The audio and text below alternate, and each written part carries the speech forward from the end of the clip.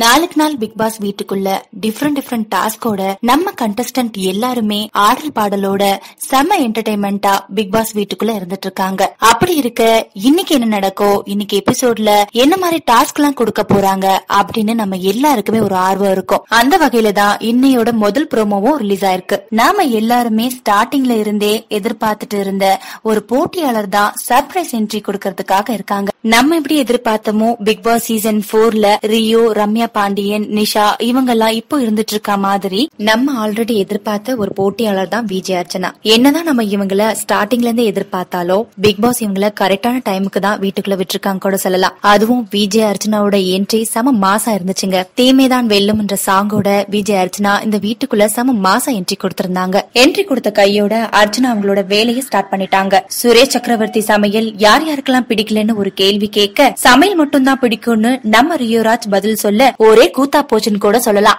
விஜய் அர்ச்சனா சுரேஷ் சக்கரவர்த்திக்கு ஆர்த்தி எடுத்து நீங்க பல வருஷமா ஆங்கரா இருந்திருக்கணும்னு ஒரு கேள்வி கேட்டிருக்காங்க. அதுக்கு சுரேஷ் சக்கரவர்த்தி நானும் ஆங்கர் தானு சொல்லிருக்காரு இதுக்கு நடுவுல சந்துல சிந்து பாயிற மாதிரி நம்ம நிஷாக்கா நீங்க வேணா பேசிட்டு இருங்க நான் பாத்ரூம் போயிட்டு வரேன்னு சொல்ல செம்ம காண்டாயிட்டாரு சுரேஷ் சக்கரவர்த்தி. இதுக்கப்புறமா விஜய் அர்ச்சனா சுரேஷ் சக்கரவர்த்தி மட்டும்தான் காண்டாக்கிருக்காங்கன்னு பார்த்தா அடுத்த ப்ரோமோல டீம்ல இருக்க எல்லாருமே காண்டாக்கிருக்க மாதிரி தெரிய வந்திருக்கு. ஓவராலா இன்னையுடைய எபிசோட் செம கூத்தா போகும்னு உங்களை போலவே நானும் ஈகரா வெயிட் பண்ணிட்டு இருக்கேன் இது வரைக்கும் அப்டேட் மிட்டாய் சப்ஸ்கிரைப் பண்ணாதவங்க சப்ஸ்கிரைப் பண்ணுங்க. மேலும் புதிய விவரங்களை தெரிந்து கொள்ள மறக்காம பெல் பட்டனை கிளிக் பண்ணிடுங்க.